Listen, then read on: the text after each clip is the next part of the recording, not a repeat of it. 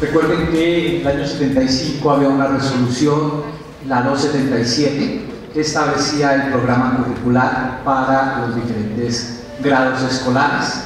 Fue allí donde se estableció que cada, qué temáticas se estudiaban en cada uno de los grados escolares y luego de ello vino un proceso en el que el Ministerio de Educación desarrolló un trabajo liderado por el profesor Carlos Eduardo Vasco, en donde se eh, estableció una propuesta curricular eh, que no fue obligatoria, que fue opcional y que recordemos que estaba centrada en la idea de sistemas matemáticos, sistemas eh, algebraicos, analíticos, etc.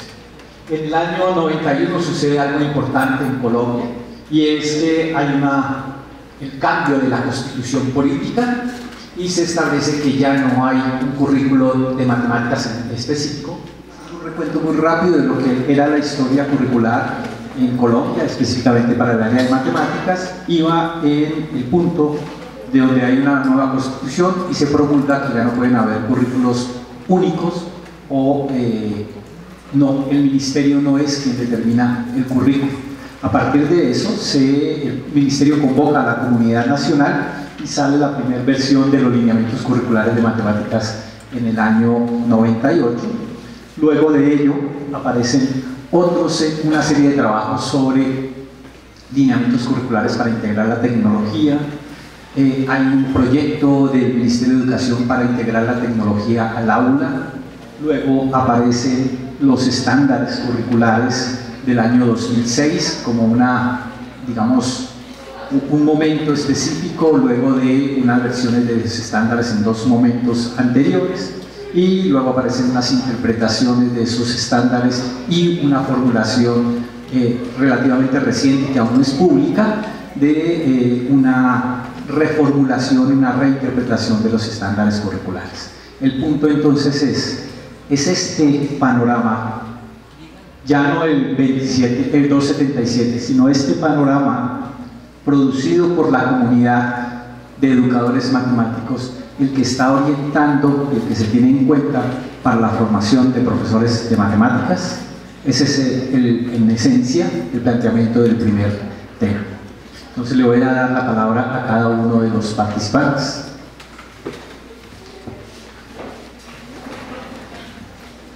Bueno, entonces la primera pregunta tiene relación con el currículo de matemáticas de la básica y media en Colombia, con el currículo de los formadores de profesores de matemáticas. La pregunta es, ¿qué énfasis se hace en el conocimiento matemático, el conocimiento matemático escolar, el estudio de los lineamientos y estándares como referentes para la formación de los profesores de matemáticas? Es decir, si eh, en nuestros eh, programas o en nuestras asignaturas eh, se dedica tiempo a que nuestros futuros maestros estudien los documentos. desde mi perspectiva, no, no se hace una revisión profunda, crítica de los lineamientos curriculares en todos los casos. Eh, estamos pasando por una eh, época en la que eh, se desconoce que es un, un recurso orientador.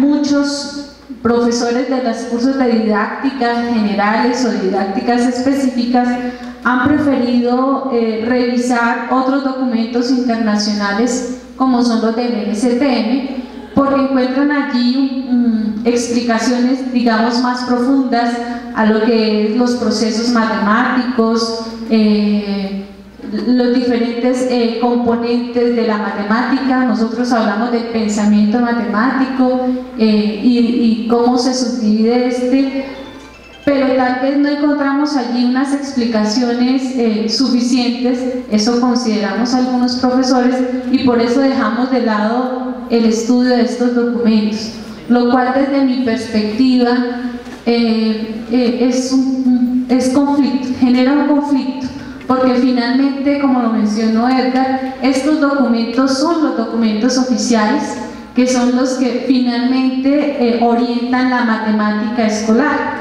Es por ello que cuando nuestros egresados llegan a su contexto laboral, eh, enfrentan pues muchos conflictos porque eh, no tienen claridad sobre las eh, competencias que necesitan desarrollarse en cada uno de los grados. ¿no?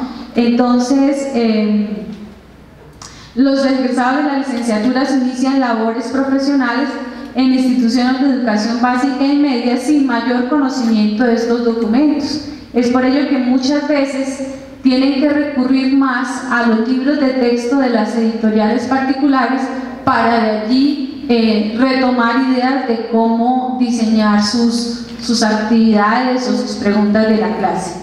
Eh, en ese sentido, valdría la pena que en la licenciatura dediquemos tiempo a estudiar estos documentos, a hacer un análisis crítico, objetivo, donde miramos qué aportes nos está dando y si es necesario eh, revisar otros documentos eh, internacionales que consideremos eh, de mayor profundidad, pues que hagamos precisamente esa, esa revisión comparativa donde digamos, mire, este documento nos está aportando mayores explicaciones con relación a este proceso, pero, pero que exista esa lectura crítica, ¿no? O sea, que, que de los cursos de didáctica, no por el hecho de que a mí, formador de profesor, no me parezca un buen documento, pues lo voy a dejar de lado, porque es, es necesario que cuando yo, profesor de matemáticas, me enfrente a un curso, tenga conocimiento de qué es lo que el Ministerio de Educación Nacional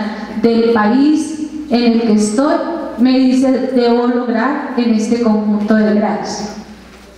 Eh, para ello también es importante mirar o, tal vez proponer experiencias de aula donde les pidamos a nuestros futuros maestros precisamente planear una clase teniendo en cuenta nuestros documentos oficiales, tal vez eh, llevarla a cabo y reflexionar posteriormente sobre lo que se logró. Desde escenarios reales mirar si efectivamente estos documentos nos están aportando en nuestra formación de profesores.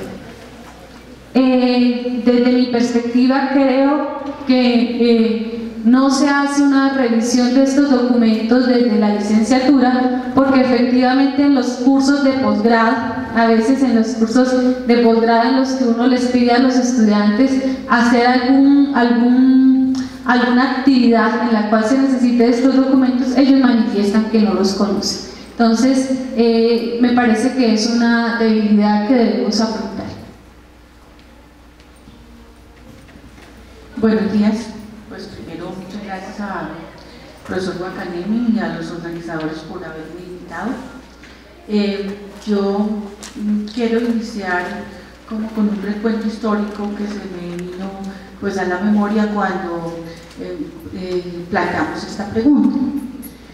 Yo me pregunto por qué aún todo el currículo de la matemática moderna, la matemática estructurada, esto hay un currículo vigente tanto en las licenciaturas como en el colegio. En los colegios y en las instituciones educativas. Hoy eso no solo creo que, está en la mente de nosotros, sino es que es la práctica. O sea, eso es lo que nosotros enseñamos. Eh, en el currículo nuestro, eh, una cosa que uno observa es que hoy todavía el álgebra valor está incluso como un texto puesto y eso corresponde a lo que Edgar mostraba como el programa del año 75.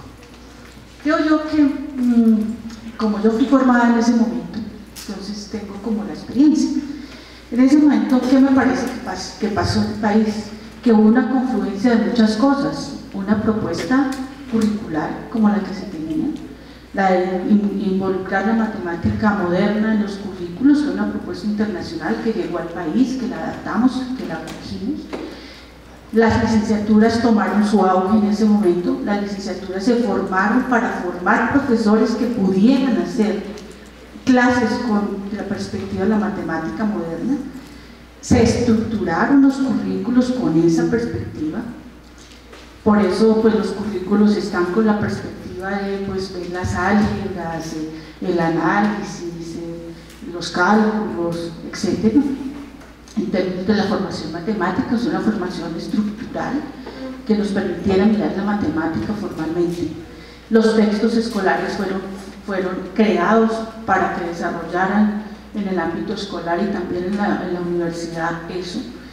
Y toda la política en general hizo que eso confluyera.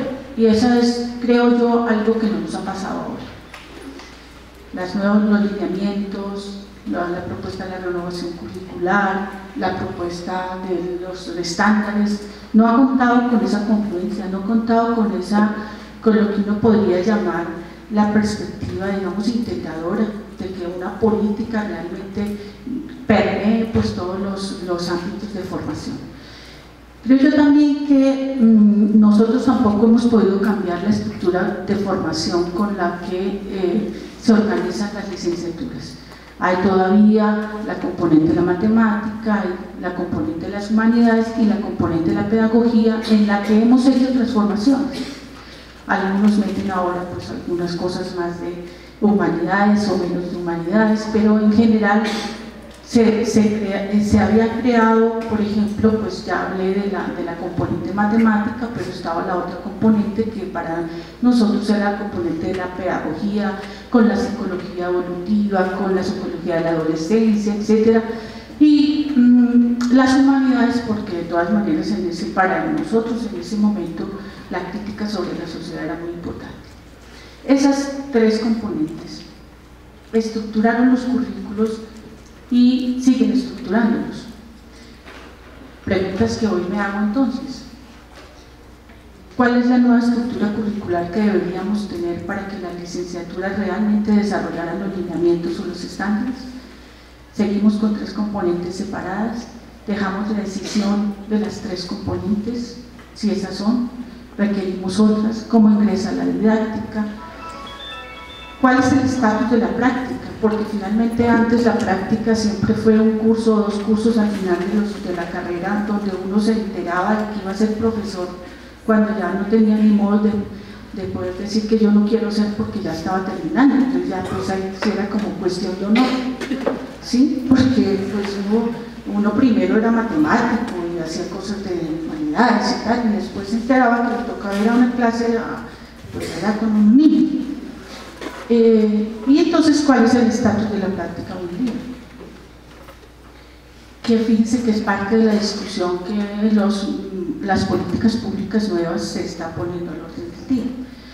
También los currículos nuestros son unos currículos totalmente desarticulados. Podemos hacer otros organizadores del currículo. Y termino pensando, eh, planteando una pregunta. De todas maneras, todos los currículos son unos currículos donde hay conflictos, pero también deben de haber consensos. Y eso ha regido mucho las posibilidades de cambio y de transformaciones de las licenciaturas que tenemos entre nosotros. Buenos días. Eh, permítame iniciar agradeciendo la invitación que nos, hizo, nos hicieron nuestros colegas de acá, organizadores del evento, en particular a Edgar. Y bueno, eh, pues en primera instancia eh, eh, compartir pues las opiniones expresadas por mis dos compañeras de mesa en términos de la importancia o lo importante que sería el que lineamientos y estándares en general toda la política pública estuviera articulada a los procesos de formación, pero también de formación de los maestros de matemáticas, pero por otro lado también eh, el, como la angustia de constatar de que eso no es lo que realmente está sucediendo en la mayoría de nuestros programas de formación, o por lo menos no lo es de manera sistemática. Hay experiencias puntuales, específicas, eh, que, que, intentan hacer esas reflexiones, pero no son política de los programas de formación de maestros. Y mm, para no repetir lo que ellas ya nos plantearon, permítanme poner un par de ejemplos eh, con los cuales espero mostrar por qué eh, este, esta afirmación de que no, hay, que no es una política en los programas de formación. Eh, por ejemplo, es claro en nuestros programas de formación que debemos tener, o sea, cuando hablamos de la formación del maestro de matemáticas, yo creo que nadie discute acerca de la necesidad de que ese maestro aprenda matemáticas. ¿sí?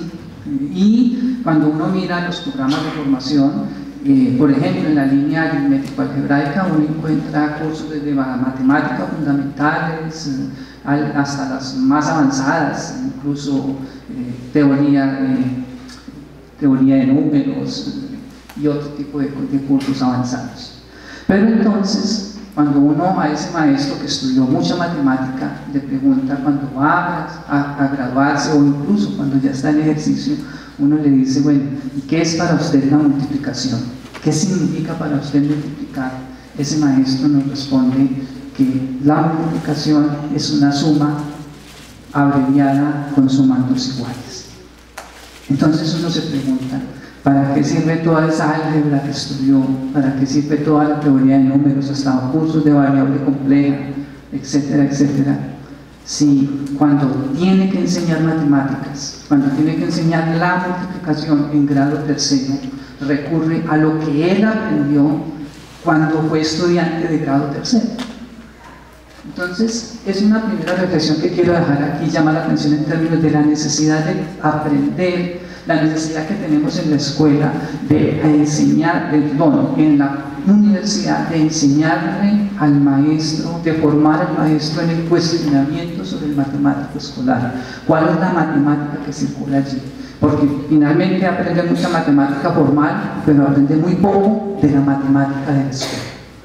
El otro ejemplo que quiero poner es con respecto al, al, aprender a ver la matemática, aprender a ver el pensamiento matemático de los niños y dejarnos que los niños nos enseñen cosas sobre, sobre las matemáticas de la escuela. Y aquí quiero referir muy rápidamente un ejemplo, un caso, un ejemplo es un caso de una niña que nos enseñó que no siempre 1250 tiene mitad. Y cuando analizamos lo que ella dijo, cuando ella nos dijo 1250 no tiene mitad, cuando analizamos la lógica desde donde ella organizó sus acciones, cuando analizamos la lógica desde donde ella estructuró sus procedimientos y sus argumentos, nos dimos cuenta que ella sí tenía razón. O sea, no siempre 1250 tiene mitad. Los que estábamos equivocados éramos nosotros que le estábamos diciendo a ella que 1250 siempre tiene mitad. Entonces, ese es el otro elemento por el cual quiero referir al hecho de que es fundamental que nosotros podamos ir a la escuela reconocer las matemáticas escolares, reconocer eso que está en la política pública, alineamientos y estándares, traerlo a, a, los programas de formación y hacer de esos documentos, de esas políticas, una reflexión sistemática en el proceso de formación para aprender a ver el pensamiento matemático del niño y aprender a ver la matemática en la escuela, cuestionarla, mirarla, cuáles son sus fundamentos epistemológicos, sus fundamentos matemáticos. Y ya para terminar, permítame leer una frase que tengo aquí escrita, dice, y se trata de una reflexión no solo de orden didáctico, son reflexiones genuinamente matemáticas.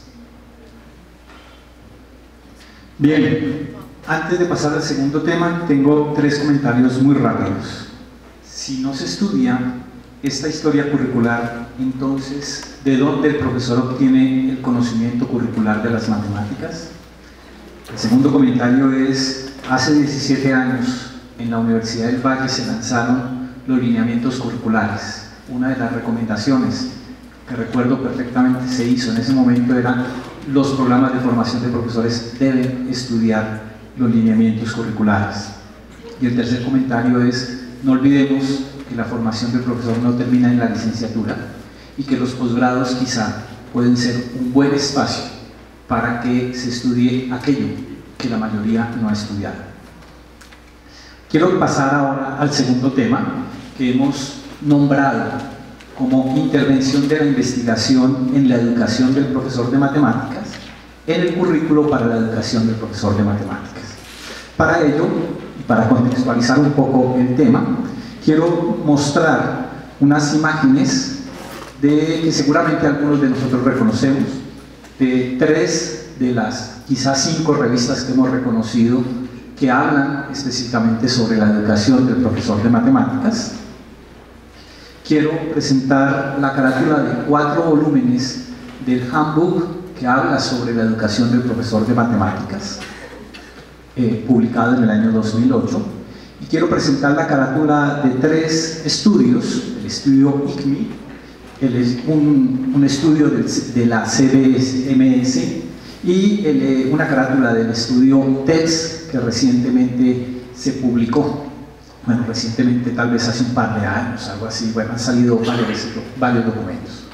La pregunta es, o el asunto es, estos documentos están en cierto sentido revelando lo que es parte de la investigación sobre la educación del profesor de matemáticas. Tienen resultados y planteamientos y preguntas muy importantes sobre la educación del profesor de matemáticas. Constituyen entonces estos y otros, estos como un ejemplo de la investigación, pero estos y otros documentos constituyen la base, el fundamento desde el cual se están pensando y se están desarrollando los programas de formación de profesores de matemáticas. Ese es el segundo tema que hemos querido plantear.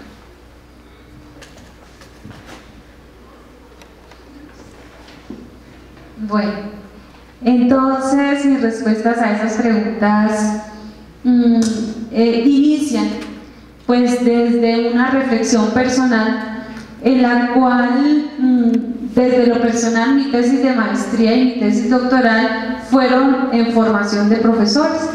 Entonces, eh, mi, visión de lo que era el campo de la formación de profesores eh, estaba completamente estructurada. Sin embargo, cuando llego al país, siento que a esta línea de formación de profesores eh, le hace falta reconocimiento, eh, precisamente desde, los mismos, desde los mismos programas de licenciatura en matemáticas. Es decir, eh, es preocupante a veces ver que las reformas curriculares a los programas de licenciatura en matemáticas no necesariamente tienen en cuenta precisamente los resultados de la investigación en formación de profesores. Eh, eh, esas reformas curriculares, como bien lo mencionaron mis colegas, obedecen a pensar en cuánta matemática, en qué porcentaje de matemáticas, en qué porcentaje de didácticas y en qué porcentaje de pedagogía. Eh, y no a unas reflexiones profundas de cómo debe de ser la formación de profesores de matemáticas, contando ahora con lo que la investigación ya, ya puede explicar. por otro lado, Mm, con relación a la otra pregunta, ¿cuál es el impacto de la formación de profesores desde los grupos de investigación en educación matemática? O sea, cómo la investigación que se hace eh, por los investigadores ¿no? de, los grupos de, de formación influye precisamente en las actividades de formación de los licenciados y cómo las actividades de coinvestigación o de extensión a los que vinculamos a los alumnos maestros les está eh, aportando. Yo considero que mucho. La, formación que les puede aportar a los futuros maestros, la participación en los grupos es demasiado. Eh, porque les está aportando no solamente herramientas eh, para la investigación, sino que están conociendo desde las mismas experiencias que viven cómo es el contexto real. Nosotros discutíamos un poco cuáles eran los peligros de, de enamorar a los chicos a, los alumnos maestros hacia la investigación y decíamos que uno de los, de los, peligros podría ser que los enamoremos tanto de la investigación que quieran ser solo investigadores y perdamos eh, los alumnos de la clase, ¿no? porque también necesitamos alumnos que, que se formen y que quieran estar eh, en las aulas de clase. Eh, otra de las preguntas que venían allí era si los doctores eh, se están desempeñando como eh, profesores de los programas de formación de la licenciatura. Y pues mi respuesta a esa pregunta es que eh, las, las, tantas exigencias que, que, estamos teniendo de productividad, de, de, un nivel de investigación, a veces nos exige producir mucho eso eh, tal vez eh, nos aleja de lo, de lo que es verdaderamente importante, que es formar a nuestros profesores. Eh, a veces preferimos dar cursos de maestría o de doctorado y, de pronto dejamos un poquito de, lado los cursos de pregrado y de pronto allí es donde nosotros podemos sembrar semillas que pueden crecer mucho. No es una crítica a, a nosotros mismos, porque soy recién egresada, pero yo pienso que es el sistema mismo el que nos está obligando a, a elegir y tal vez no debería ser lo correcto, ¿no? Bueno, yo pienso que de todas maneras hay mucha investigación ya internacional y creo que nacional, pues aunque esté muy dispersa. Eh, sobre lo que caracteriza el conocimiento del profesor, sobre cómo se debe aprender, sobre los ambientes donde se debe aprender, sobre las tareas propias para que el profesor aprenda, sobre el uso de las tecnologías en esos procesos de aprendizaje, sobre el problema de la práctica, cómo se aprende, sobre ser profesor reflexivo, etc. Hay cantidad de, de investigación sobre esto. Creo que de todas maneras es muy poca la que ha podido ingresar a los cursos y a los programas de formación.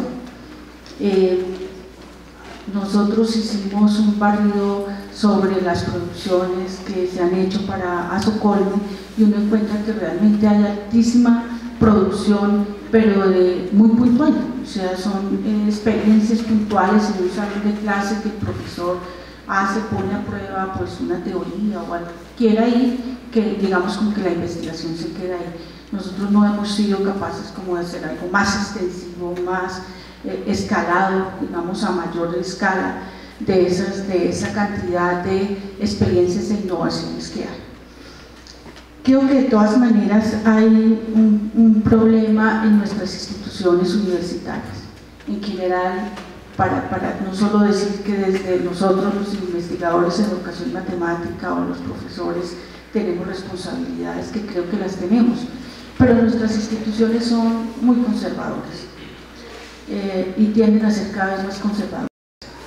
Entonces, hacer innovaciones, ¿qué es lo que está al orden del día? Porque nos tocaría poner a prueba toda esta investigación, todos estos resultados y tratar de llevarlos al aula, pues también tienen a veces todo un cuestionamiento institucional que no nos permite eh, realizar esas, esas, esas innovaciones.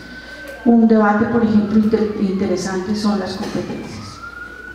Querámoslo no, incluso la política pública está hablando de que, y las evaluaciones, se hacen evaluaciones por competencias, independientemente que esas sean las que nosotros estemos de acuerdo o no, pero digamos están evaluando por competencias incluso a los profesores. Pero nosotros, ¿cómo podemos enseñar por competencias? Con la vieja estructura que tenemos, con, la vieja, con los viejos ambientes de aprendizaje que tenemos, esos cómo los usamos para formar por competencias o requerimos nosotros mismos otras competencias para poder enseñar por competencias. ¿Cómo estructuramos unos nuevos currículos que realmente den cuenta de una concepción de la formación del profesor como una como de la profesionalidad del profesor como una profesión altamente práctica. La formación, la profesión docente es altamente práctica e intervencionista porque estamos en la escuela, porque estamos en el aula, porque trabajamos con niños, porque no trabajamos solos, porque no reflexionamos solos y porque tenemos una responsabilidad sobre que los niños aprendan. Em, también mm, nosotros hemos, hemos eh, empezado a pensar que, que, podríamos desarrollar, desde el grupo de investigación donde yo trabajo, el grupo MESCUR, nosotros tenemos una línea de investigación en diseño, diseño, desarrollo y evaluación del currículo. Uno de los currículos que ayudamos a construir es el currículo de la licenciatura en matemáticas, que es un currículo que pretende ser un currículo de investigación, concebido como una propuesta de investigación y obviamente de intervención e innovación. Pues eh, creemos que ahí tenemos muchas experiencias que, digamos, que mostrar al país, pero también Hoy, en día estamos trabajando en lo que hemos llamado los referentes curriculares para trabajar en todo lo que es la formación de profesores en y para la diversidad. Esos son temas, la inclusión, la no violencia, etcétera, son temas que tienen que empezar también a incursionar dentro de la formación de profesores y que pues que son temas del día. Incluso, ¿qué vamos a hacer con la posguerra? O los profesores de matemáticas con eso no tenemos nada que ver. Y esas son cosas que el mundo de hoy nos está poniendo como retos para que nosotros también pensemos la investigación sobre la formación, la investigación sobre el currículo, la investigación sobre los procesos que desarrollamos para que nuestros estudiantes puedan ser unos buenos profesores de matemáticas. Bueno, es una pregunta, un tema con muchas aristas, pero bueno, lo primero es, mm, yo creo que nosotros en el país tenemos que reconocer que estamos en deuda con la investigación sobre la formación de los maestros. A lo largo y ancho del mundo se ha hecho mucha investigación sobre la formación del maestro, pero nosotros en el país contadas algunas excepciones, no hemos logrado que nuestros programas de formación, que nuestras licenciaturas sean los verdaderos laboratorios de investigación sobre la formación del maestro que estamos formando. Entonces yo, creo que ahí, hay un tema que debemos abordar conjuntamente, eh, eh, ya que estamos aquí en un evento sobre formación de maestros de matemáticas, es un tema sobre el que deberíamos seguir reflexionando y profundizar cómo vamos a hacer para que nuestras licenciaturas sean efectivamente los laboratorios de investigación sobre la formación que estamos haciendo para poder tener ideas más claras sobre cuál es el maestro que nosotros requerimos en el país. Pero unido a eso también está el otro subtema que estaba aquí planteado, que era el tema de los modelos de formación. Es que esa investigación sobre la formación, o sea, sobre cómo estamos formando al maestro, nos podría mostrar, por ejemplo, las posibles contradicciones en las que estaríamos incurriendo. Por ejemplo, mm, nosotros enseñamos teorías de aprendizaje en nuestras licenciaturas, enseñamos, algunos hablan de constructivismo, otros hablan de sociólogo, sociocultural, otros hablan de lo eh, histórico crítico, etcétera, etcétera. Pero cuando uno va a mirar cómo enseñamos la matemática a esos maestros que estamos formando, cómo enseñamos la didáctica a esos, a esos maestros que estamos formando, nos damos cuenta que seguimos aferrados al modelo clásico de leas el libro, hacemos explicaciones y hacemos un examen o producimos un trabajo escrito. Entonces, los modelos de formación, o sea, nosotros, nuestros modelos de formación no se compadecen con las teorías que enseñamos, incluso podrían ser hasta contradictorias. Alguna vez le decía a mis estudiantes que hablábamos del constructivismo y yo les decía, esto que estamos haciendo aquí es el mejor ejemplo de lo que no es constructivismo. Entonces, si ese es el, si ese es el modelo de formación, con mayor razón tenemos que sentarnos a pensar muy seriamente cómo es que vamos a hacer para que nuestros modelos de formación reconozcan, por ejemplo, que el aprendizaje es el resultado de, la acción de las personas en el mundo.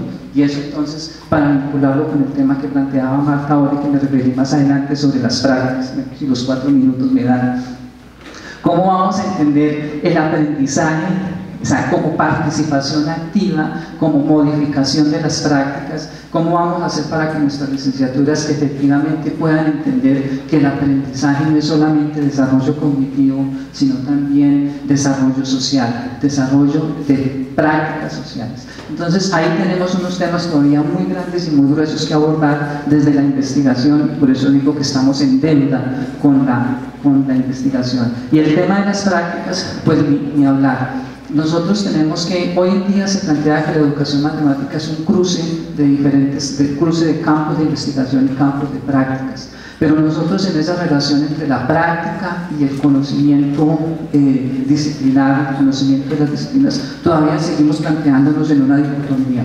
Enseñamos, formamos al maestro teóricamente en la universidad para que vaya a las instituciones a reconocerse en la práctica pero se han hecho muy pocas experiencias, bueno, e incluso, perdón, algunos programas de formación ya han hecho incursiones en las prácticas tempranas desde los primeros semestres, pero allí incluso todavía uno puede identificar en algunos casos esa dicotomía, la práctica desde los primeros semestres no es el lugar para construir los problemas de formación que van a orientar el currículo de formación en la licenciatura, sino que incluso siendo prácticas tempranas son lugares de aplicación de lo que hemos aprendido en la universidad. Entonces allí necesitamos también aprender cómo es que vamos a hacer esa interrelación entre la, entre la práctica y el conocimiento universitario, pero no en la dicotomía de aplicación de conocimiento formal y campo aplicado, sino en la relación de cómo es que el campo de prácticas nos permite aprender, nos permite constituir los problemas de formación sobre los cuales vamos a articular los currículos de formación en los pregrados. Bien, igual que lo hice antes, mm, dos comentarios en este caso, muy pequeños, muy breves. Lo primero es eh, efectivamente reconocemos prácticas de formación, que seguramente también reconocemos prácticas de formación reflexionadas, es decir, que han sido objeto de reflexión, y deberíamos reconocer también prácticas de formación que son objeto de investigación. ¿No es acaso estas últimas lo que le daría la impronta o el sello de profesional a la formación de profesores de matemáticas que estamos haciendo o que hagamos. Y el segundo comentario es un refrán muy famoso que dice, el cura predica pero no aplica. ¿No será que nosotros con un intento de que nuestros profesores, futuros profesores, también accedan a la investigación, hemos olvidado que nosotros también somos profesores y que nuestras prácticas también son objeto de investigación, o por lo menos deberían serlo. Bien. El tercer tema lo hemos nombrado intervención de la investigación en el currículo de formación de profesores. Este tema tiene que ver con la pregunta, ¿qué, qué tanto de la investigación, ya no sobre la educación del profesor de matemáticas, sino qué tanto de la investigación en matemáticas, por ejemplo, de la investigación que se está haciendo hoy en día en matemáticas, de la investigación que se ha hecho quizá en el último siglo en matemáticas, qué tanto de la investigación en educación matemática, qué tanto de la investigación en pedagogía, y podríamos colocar otras disciplinas, realmente está interviniendo o debería intervenir en la definición de los programas de formación de profesores. ¿Cómo es ese vínculo entre los grupos de, formación, de investigación y los programas de, de formación? ¿Qué impacto tiene esa investigación que hacen los grupos de investigación en los programas de formación?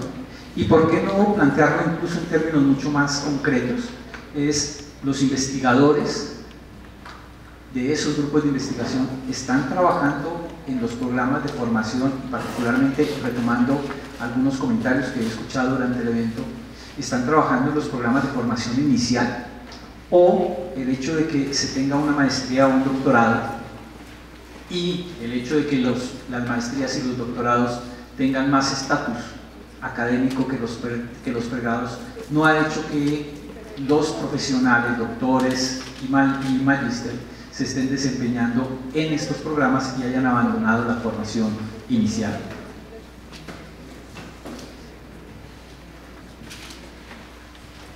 Bueno, eh, al respecto, pues efectivamente las licenciaturas, desde mi perspectiva, están articuladas en esos tres ejes, ¿no? Eh, de la teoría en matemáticas, la teoría en pedagogía y la teoría en didáctica. Eh, que son, pueden tomar otros nombres, pero básicamente esos son los tres ejes. Y veo que efectivamente quienes están dando los cursos de matemáticas son los matemáticos, quienes dan los cursos de pedagogía pues son pedagogos o psicopedagogos o psicólogos. Y pues en los cursos de didáctica están los educadores matemáticos que efectivamente eh, pondrán allí eh, las investigaciones que están desarrollando, los resultados de la investigación en su ciencia o en su, o en su área. No obstante, lo que sí es evidente es el divorcio entre, esas tres, entre esos tres ejes. Es decir, el matemático enseña las matemáticas, pero no, no como lo mencionó muy bien Gilberto en su ejemplo, no desde la epistemología de las matemáticas, un poco para que el estudiante no solamente sepa derivar, hacer teoría de números, hacer teoría de conjuntos, sino para que pueda incluso eh, dar explicaciones a niños eh, eh, en el contexto de la matemática escolar. ¿sí? Fíjese que él nos lo dijo muy bien, podemos hacer teoría de números, podemos hacer matemáticas avanzadas, pero tal vez no podemos explicar qué es una, qué es una suma, qué es una resta, qué es una multiplicación, que a veces es allí donde nosotros empezamos a generar, digamos, algunos obstáculos. Entonces, desde mi perspectiva, tal vez lo que deberíamos lograr en los programas de formación de profesores es precisamente consolidar una comunidad de, de formadores de profesores en los que precisamente los, teóricos de las tres disciplinas pensemos en las conexiones entre ellas Pensemos cómo hacer que cada una de las disciplinas eh, se logren consolidar de una manera fuerte, pero pensando en que no es una matemática para un matemático, sino para una persona que va a enseñar matemáticas escolares, que va a generar actividad matemática en los estudiantes. Muchos chicos eh, recién egresados, como bien lo dijo eh, Gilberto, voy a retomar, a la hora de hacer sus prácticas reales, se olvidan de todo lo que se vio en los cursos de didáctica, de constructivismo, de resolución de problemas, etc. Y terminamos enseñando tal como aprendimos o tal como nos enseñaron. Entonces es allí donde hay un peligro grande de que todo, de que en este momento tenemos muchísima producción científica en educación matemática, cada vez hay más eventos de divulgación, pero qué tanto de eso está llegando a la formación de nuestros profesores y qué tanto de eso está llegando al aula, pues es ahí donde eh, se, deben eh, generar las reflexiones. Entonces, desde mi perspectiva, precisamente, los grupos de investigación en educación matemática necesitan generar vínculos con la teoría de la matemática, con la teoría de la pedagogía, de la psicopedagogía, no continuar desarrollando proyectos aislados, sino tal vez trabajar proyectos integradores donde en realidad estemos pensando en la formación de los profesores. Bueno, yo quiero aquí iniciar con la segunda parte, que es la parte de los grupos de investigación. Eh, nosotros la revisión que hicimos de los documentos que se presentan y de los cursos que se hacen en, los encuentros de matemática educativa que hacemos cada año, donde están pues, la mayoría de los grupos de investigación, encontramos mm, que por lo que presentan allí, no estoy diciendo que exactamente sea la actividad de los grupos. Por lo que encontramos allí, nosotros somos grupos que vamos como por oleadas de intereses.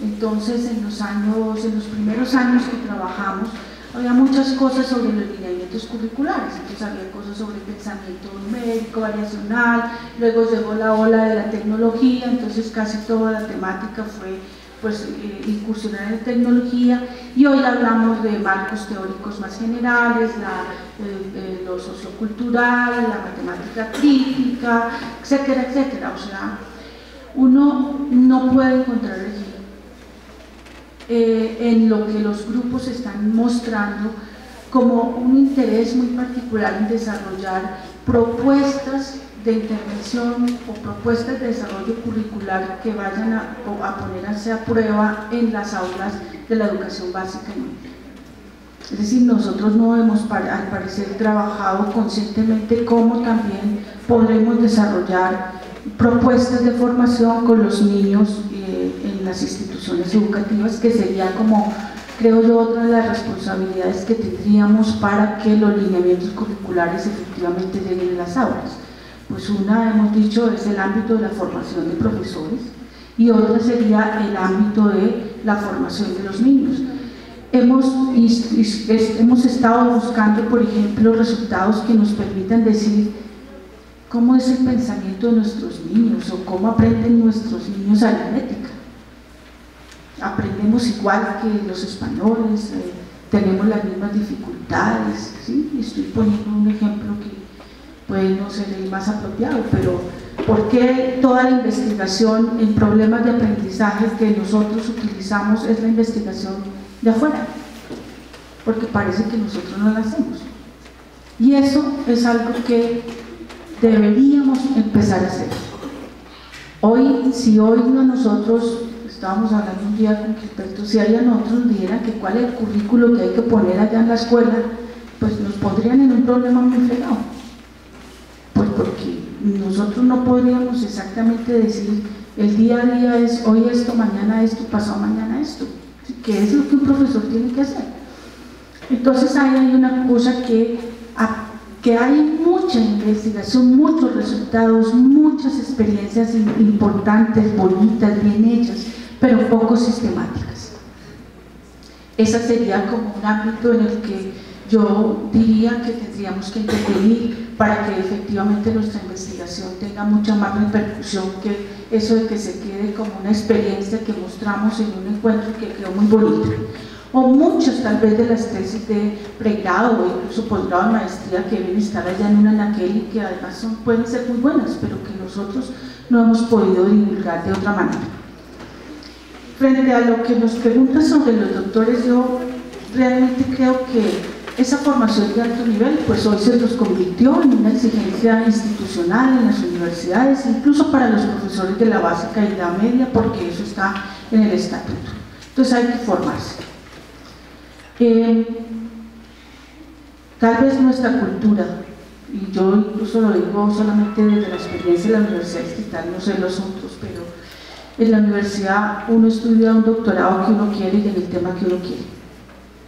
Por supuesto, pues cuando llegan los doctores, pues el tema que él trae, su experticia, pues es la que él quiso. Y por tanto, pues cómo compatibilizamos eso con las exigencias institucionales. Entonces creo que, que, si hoy me preguntan a mí si es necesario que los doctores estén en el pregrado, yo digo que depende. Depende, porque si el profesor investiga sobre su práctica y si el doctor está investigando sobre cómo formó profesores, etcétera, pues bien, bienvenido. Pero si el doctor llega con una investigación en álgebra abstracta, pues seguramente que lo que quiere poner es un curso en el pregrado para poder hacer álgebra abstracta de la que él quiere. Pues porque esa es su experticia. Entonces no porque yo sea doctor tengo que estar en el pregrado, porque a lo mejor no quiero. Y a lo mejor lo que voy a hacer es mucho de lo que está eh, pasando en una universidad muy prestigiosa de este país, y es que obligaron a los doctores y a los postdoctores a estar en el pregrado y lo que han conseguido en estos últimos tres años es una altísima repitencia en los primeros cursos. Pero altísima es altísima. Por lo menos los cursos de matemáticas se están teniendo otra vez entre el 80 y el 90% de personas que pierden. ¿Y entonces por qué? Porque los doctores tienen que ir a hacer. Entonces eso puede ser incluso contraproducente para la formación. Bueno, eh, voy a referirme con este tema a dos elementos de orden general, en, en cierta medida para llamar la atención de unos posibles peligros eh, que se pueden servir sobre algo que es fundamental que es importante. O sea, reconocemos la importancia de la investigación en educación matemática, en pedagogía, de la educación y la formación de profesores como algo central para poder formar, para poder formar los maestros. Pero hay dos cosas que quiero llamar aquí, sobre las cuales quiero llamar la atención. Primero, por todo este tema de las políticas neoliberales que nos están cruzando por, por todos lados, cada vez más las universidades se ven, se ven exigidas a a conseguir nuevas fuentes de financiación, cada vez están siendo a cumplir con los estándares que exigen las entidades certificadoras y eso se revierte sobre los docentes en términos de que aumenten la cantidad de investigaciones que proponen, que aumenten la cantidad de productos que, que entregan al medio, es decir, la universidad como empresa y la educación como negocio. Esa presión que se ejerce sobre los docentes, que entre otras cosas para muchos es bueno porque les da prestigio y les da eh, buenos réditos económicos, eh, trae, como, trae un peligro y es que entonces los docentes tienen menos tiempo para pensar la educación, tienen menos tiempo para escribir a sus alumnos, porque es que escribir para un alumno no da puntos, escribir para el Journal for Research Mathematics Education sí da puntos, menos tiempo para interactuar con los maestros, menos tiempo para pensarse con esos maestros. Eso tampoco da puntos, eso no. Entonces, en fin, hay un peligro allí muy fuerte que se cierne sobre la universidad como empresa y sobre el maestro como productor de conocimiento que le impide reflexionarse en su rol como educador. Llamo la atención a esto no para decir que no hagamos investigación, sino para la necesidad de la vigilancia epistemológica sobre esa investigación, para que podamos tener capacidad de saber qué tanto los resultados de las investigaciones se están traduciendo en líneas de formación en los pregrados, qué tanto se están traduciendo en desarrollos curriculares, en materiales para la docencia, etc. Qué tanto nos pensamos como educadores a través de la investigación que realizamos. Primer punto. El segundo punto muy conectado con este anterior. Es claro que ese vínculo entre la formación del estudiante para maestro y los grupos de investigación es muy productivo. Y eh, es importante, entre otras cosas, porque eh, además garantiza fuentes de, financiación para eh, la formación del mismo estudiante y los estudiantes a través de los proyectos de investigación y los grupos de investigación pues se forman en relación a esos semilleros que tienen los grupos de investigación, se forman en relación a las pasantías de investigación que pueden realizar, etcétera, etcétera. Pero quiero llamar la atención entonces sobre esto. Ese estudiante que se forma en los grupos de investigación a través de los semilleros, de los proyectos, de las pasantías de investigación, que se forma como investigador, como investigador, ¿Cuándo tiene tiempo para reflexionar sobre la práctica educativa, sobre esa actividad fundamental que es la que va a realizar cuando sea egresado de la universidad? Entonces, nuevamente, es necesario que ese maestro en formación participe de esa vida de los grupos de investigación, pero entonces debemos cuidarnos de cómo está impactando realmente la formación como investigador de ese estudiante que va a ser maestro. Muchos de nuestros estudiantes que han pasado por nuestros grupos de investigación ya no quieren ser maestros, quieren ser investigadores. Y entonces uno dice, bueno, entonces, ¿qué estamos logrando? Tenemos un muy buen investigador, pero un mal maestro. ¿Qué pasa? O sea, hay un tema sobre el que llamo la atención es precisamente para eso, para que hablemos de la vigilancia epistemológica que tenemos que hacer sobre los procesos, para que no perdamos, como dije hace un rato, el horizonte del sentido que es la formación del maestro. Muchas gracias. Igual que lo hice antes, tres comentarios breves. Eh, conozco solo un programa de formación de licenciatura en matemáticas que es suficientemente coherente entre sus líneas de investigación y sus líneas de formación. De hecho, las líneas de formación son las líneas de investigación de los grupos de investigación en esta universidad. El segundo comentario tiene que ver con un par de recuerdos. Uno, el año 2012 estábamos en el camp en Costa Rica y Manuel de León nos mostraba cómo es posible otras matemáticas para desarrollar otros pensamientos matemáticos. Y recientemente en el CIAM, ella hoy les nos comentaba cómo en Inglaterra, en últimas, para resumirlo, se estaba necesitando de un pensamiento matemático diferente al que ha sido usual.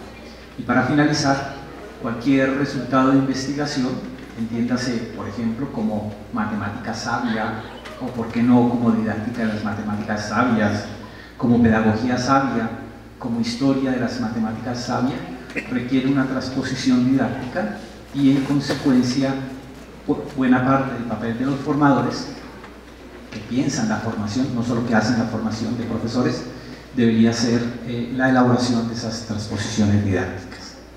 Bien, pasemos ahora a la segunda parte de esta sesión, en donde hemos definido eh, una temática para cada uno de los expositores. Eh, Sandra Evelyn Parada va a hablarnos sobre la formación de los formadores y para contextualizar eh, simplemente uno de los aspectos sobre los que podría hablar y que tiene que ver con quién forma al profesor, quién es la persona que forma al maestro en formación. Eh, hoy en día seguramente tenemos la exigencia de que sean magísteres, eh, personas con título de maestría quienes formen a los profesores. Sin embargo, es deseable también que los doctores formen a los profesores. Pero cuando hablamos de la práctica, casi siempre nos inclinamos a que sean personas que sean o que hayan sido profesores de matemáticas, porque ellos sí que saben de lo que es la enseñanza de las matemáticas y de lo que es el conocimiento práctico. Miren que la diversidad de posturas es amplia. Y tenemos el problema entonces de en cuál de esas o cómo articulamos esas diferentes posturas como uno de los asuntos sobre la formación de los formadores. Bueno, este tema es bastante difícil, eh, pues como lo menciona Edgar, eh, no hay unas posturas unificadas, ¿no? Entonces, pues yo voy a hablar desde, desde mi postura. Entonces, para empezar la tarea, empecé preguntándome eh, qué significa formar. Y entonces entre esas definiciones encontré una, una definición figurativa que dice que sería posibilitar la preparación intelectual, profesional, moral de un individuo o de un grupo de individuos. Entonces dije, bueno, bajo esa mirada de formar, entonces, ¿qué sería formar a un profesor de matemáticas? Entonces, sería entonces formar profesores de matemáticas la experiencia de posibilitar la preparación intelectual, profesional, moral de quienes ayudan a la sociedad a desarrollar sus competencias matemáticas? Podría ser un, primer acercamiento. Y, y, es que la palabra formar es como que uno va a hacer, va a hacer algo, va a hacer a, construir el perfil del otro. Ah, hay literatura que prefiere decir, no usar la palabra formar, sino profesionalizar. Entonces, en ese sentido, yo tengo, pues, eh, comparto esa definición de ayudar a profesionalizar a los docentes. ¿Y qué comprendería esa formación de los profesores de matemáticas? Entonces, implicaría desarrollar competencias profesionales desde lo teórico y desde lo práctico. Entonces, desde lo teórico, eh, estamos hablando de que, como lo dicen muchos de los educadores matemáticos y pedagogos, eh, sobre el conocimiento del profesor. Y hay muchas posturas, está la de Schulman, Boll, eh, Cohen, muchos teóricos que hablan del saber del profesor. Y entonces, eh, Schulman, por ejemplo, dice que nadie puede enseñar algo que no sabe. Entonces, si yo voy a enseñar matemáticas, debo ser, debo saber matemáticas porque no puedo enseñar algo que, no sé, ¿cierto? Eh, Val en sus varios eh, modelos, el MKT, habla de que sí, necesariamente hay que saber matemáticas pero no las matemáticas teóricas, sino las matemáticas que se van a enseñar. Pero también es muy importante eh, tener el conocimiento didáctico de la enseñanza de las matemáticas. Es decir, empezamos otra vez a discutir, ¿será que tenemos una respuesta concreta a qué debe saber el maestro y cuánto debe saber de cada teoría? Entonces, mi reflexión al respecto es que nosotros necesitamos, nosotros, formadores de profesores, profesores colombianos, necesitamos reflexionar sobre el contexto en el cual enseñamos, el contexto en el cual se aprende y bajo esas perspectivas desarrollar competencias profesionales en, en nuestros futuros maestros para que puedan precisamente desarrollar su labor en el lugar donde le corresponde. Porque no podemos seguir en la utopía de eh, formar un profesor ideal, el profesor ideal que lo sabe todo, sabe muchas matemáticas, sabe muchas didácticas, sabe eh, de psicología y entonces puede resolver todas las situaciones. No, seguramente no vamos a poder crear ese profesor ideal, pero sí por lo menos dar herramientas que les permitan a ellos eh, eh, sortear las situaciones de la vida diaria, que generalmente en los congresos uno se encuentra cuando termina una conferencia y los profesores precisamente nos repiten lo mismo. Sí, profesora, lo que usted dice está muy bonito en la teoría, pero de aquí a que nosotros llevemos eso a la práctica. Tal vez eso significa que, que, necesitamos mediar entre esa formación teórica y esa formación práctica para que ellos sí vean que el resultado de la investigación sí podemos aterrizarlo en el aula. En, en ese sentido, también averiguando un poco, encontré que, por ejemplo, países como Francia y Finlandia tienen programas de posgrado, maestrías y doctorados para formadores de profesores, España también. ¿okay? Entonces, eh, nosotros no tenemos maestrías ni posgrados de formadores de... ¿Cómo sería? Formadores de formador de... formadores de profesores. Formadores de profesores, o sea, ¿qué características debe tener el formador de profesores? Entonces, claro, eso necesitaría unas reflexiones muy profundas de cómo sería ese currículum. Entonces, claro, como la idea es plantear muchas preguntas, pero no solamente dejar preguntas, sino tal vez eh, pensar en posibles soluciones, eh, bueno, pues desde mi mirada, que, es la investigación que he realizado, mm, una, alternativa es la constitución de comunidades de práctica. Comunidades de práctica es una solución que desde la investigación he visto permite precisamente la mediación entre la teoría y la práctica, entre el saber logrado por la formación teórica y la formación práctica lograda de la experiencia, donde precisamente el profesor novato puede aprender mucho de la experiencia del profesor con, con, mayor experiencia, esa sería una muy buena alternativa que desde la investigación hemos visto dar resultados. Y otra alternativa que yo planteo aquí, pues ¿por qué no? Pensar en posibles maestrías o posgrados para formadores de profesores. Y por último, algo que se va a trabajar aquí, pues es eso, que precisamente establezcamos redes entre las universidades que tenemos licenciaturas en educación con énfasis en matemáticas o licenciaturas en matemáticas, donde nos compartamos las innovaciones y tratemos de enriquecer nuestros programas.